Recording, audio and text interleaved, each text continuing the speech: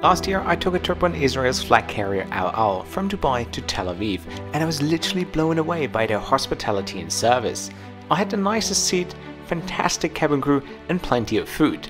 However, the whole story had a massive plot twist. The airline figured out that I was coming and gave me the Sam Chui treatment. Short, I was fooled into an experience most of you may not have, and while I appreciate the airline doing their homework and I'm very grateful that they treated me like a good guest, it's most likely not what you are going to experience if you were to fly El Al. So I figured out I owe you guys a proper review. So I booked myself on a flight from Tel Aviv to London in economy class this time to show you the sobering reality of the Israeli flag carrier, to show you what it's really like.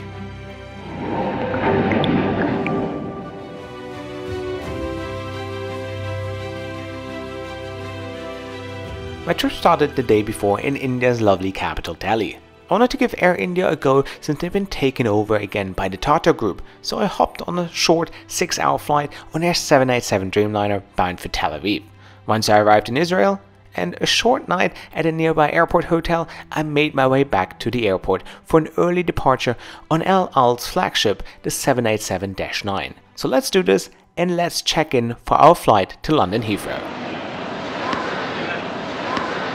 So, all checked in for the Al economy class experience all the way to London. Al's main hub is the Ben Gurion International Airport, named after Israel's first prime minister. The airport handles around 20 million passengers annually, and today I was one of them. Once you clear immigration, you go on a 180 meter walk of the Grand Boulevard, with photos being displayed of the diverse culture of Israel. Also recently, a big 44 meter long mural was installed showing 4,000 years of Jewish tradition and history in the region. It's always a nice sight and shows the unique architecture of this airport.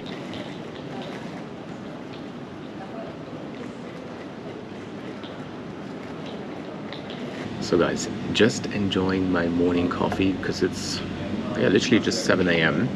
And opposite me is a 737 of Royal Air Morocco. And I think I said that in my previous video. It's nice when countries come together and build bridges, such as Morocco and Israel, or the UAE or Bahrain, all establishing uh, diplomatic relations and uh, benefits, especially the aviation market. So many flights have been established, especially between Dubai and Tel Aviv. Massive market, no? Very interesting to see. Great to see as well.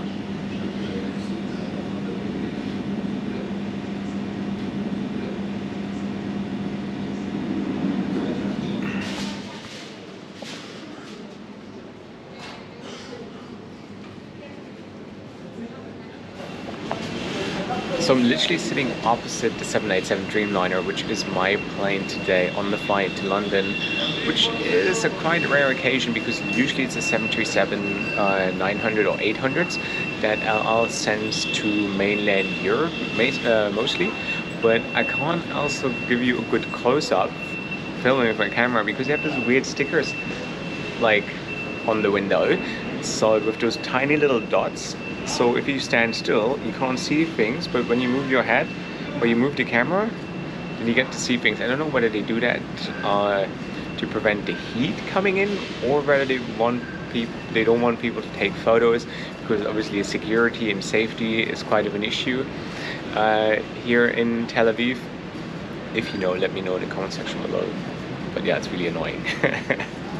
During boarding, the crew was rude and snappy with passengers ahead of me that I put my camera away so I wouldn't get punched in the face. But once I was past them, I was able to get a nice glimpse of the premium economy and main cabin, featuring 222 seats and a 9 abreast configuration. Each seat comes with a personal entertainment screen, a foldable table, as well as a USB slot. The screen in front of you features plenty of entertainment options, and so far, the hard product on it is rather impressive. Also, the 787 Dreamliner is offering internet connectivity for a decent price, I would say. Unfortunately, the Wi-Fi wasn't working on this flight, and it was a problem that occurred on my previous El Al flight as well, so you shouldn't really rely on it. One thing I constantly noticed during the boarding process was how little patience the crew had with its passengers, and that was rather sad to see. A bottle of water was handed out And we finally made our way to the runway for our four hour journey to London Heathrow. So let's see what the flight has in store for us. And as we were taxiing to the runway right now, it's perhaps a great opportunity to subscribe to my Patreon to unlock some extra perks such as access to my WhatsApp group, early access to my videos, a Cahill keyring, or monthly Zoom sessions. Check out the link in the description box below and become part of the Cahill army, helping me improve flying for all of us.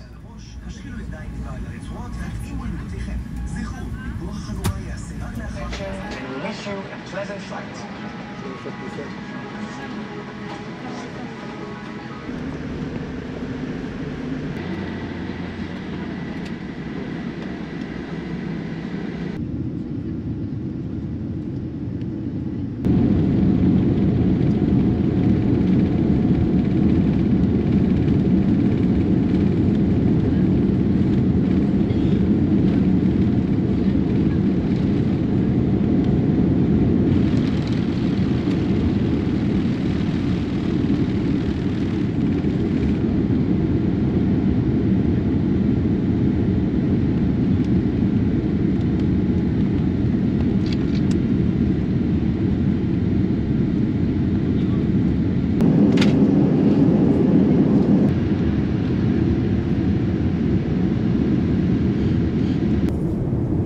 So guys, and here we are, 15 minutes into the flight.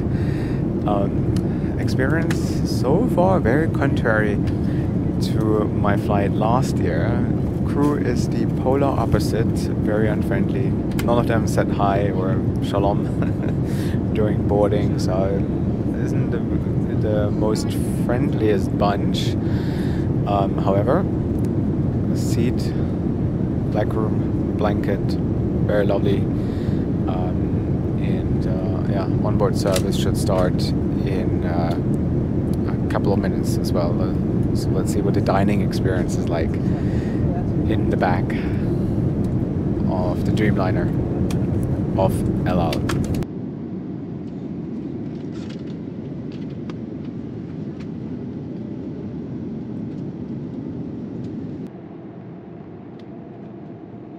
It was then time for breakfast, and in all those years flying, I was never served such a dry and disgusting omelette.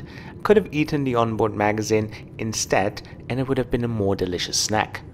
Once again, during service, the crew gave out such an unwelcoming vibe that I really started to wonder whether they are okay. However, the entire breakfast was super poor, and for whatever reason, no coffee or tea service was conducted. Perhaps it's not the thing on El Al, or the crew was simply too lazy to do so. It's something that I don't have an answer for, since it really seemed odd to me. I mentioned earlier that El Al did their research online and found out that I was flying with them? And that's because your personal data is being sold online every day by so-called data brokers, which is resulting in you getting endless spam emails, annoying phone calls of people trying to sell you stuff. However, today's sponsor, Incogni, helped me to solve this issue and will liberate you from endless spams as well as phone calls. I opened an account and they found my personal information was with 278 data brokers selling my email, phone number, and other valuable data. It's a big money business, but luckily you have the right to request that those data brokers delete the information they have about you. Unfortunately, it would take you years to do it manually. That's why I love Incogni because they do the work for you they contact the data broker on your behalf and request for your data to be removed from their list. So you don't need to do anything other than opening an account, grant them the right to work for you, and just sit back and relax while Incogni takes care of it. So the good news is the first 100 people to use my code Josh Cahill with the link in the description box below will get 60% off. So say goodbye to unwanted spam emails and annoying phone calls. Now let's get back to the review. So, and here we are inside the loo. Breakfast was awful. Um, there was no tea or coffee service either, which made no sense at all. And uh, uh, there, there's no headphones. And when I asked for headphones, she responded with no. so yeah, um, weird, weird flight. Very, very different to my uh, first El Al flight uh, last year, where I do think they knew that I was coming last time, so they put on a bit of a show. But this time, I think I played it pretty well, and I'm unannounced. Well, I, I was unannounced anyways, the, the previous one, but uh, uh, this time they just didn't know uh, they didn't do their homework right? Whatever because I do heard they do a lot of research on their passengers for safety and security reasons. Um, but I think this time um, I am a normal passenger so I can give you the normal experience and it's underwhelming to be honest. Uh, rather disappointing. I was expecting a lot more. I was actually really excited for this flight but yeah uh, I would give it a 3 out of 10 um, yeah, we uh, have 90 more minutes to go. We fly into Terminal 4, and then I actually continue to Frankfurt on British Airways. But uh, I'm not going to film this because nobody wants to see a Euro business class trip. Um, yeah. Right. Anyways, I give you a full summary once we are on the ground in the United Kingdom. The rest of the flight was rather eventless, and at one point we started our descent into London Heathrow. What do I make of this flight? It's hard to say since I had rather high expectations of El Al after my first flight. I think the hard product is great and very competitive for an economy class cabin. However, the food was horrific and highly disappointing. Something I wasn't expecting at all. Also the crew was shocking, something I'd least expect since I was showered with love and hospitality on my flight last year. But somehow I'm glad that I got to experience the real and unfiltered product of El Al. I feel like I should try their premium economy class soon to get an even better idea, since every airline can have a bad day.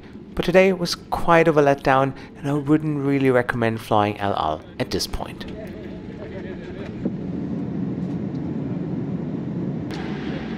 After arriving in London, I made my way to Frankfurt, Germany, where I was embarking on a 9 hour flight on Mongolia Airways Boeing 767-300, an airline I wanted to try for the longest time. It was quite an adventure and definitely a video you shouldn't miss out on. So please consider hitting that subscribe button right now to join me on a trip to the least populated country on earth, Mongolia.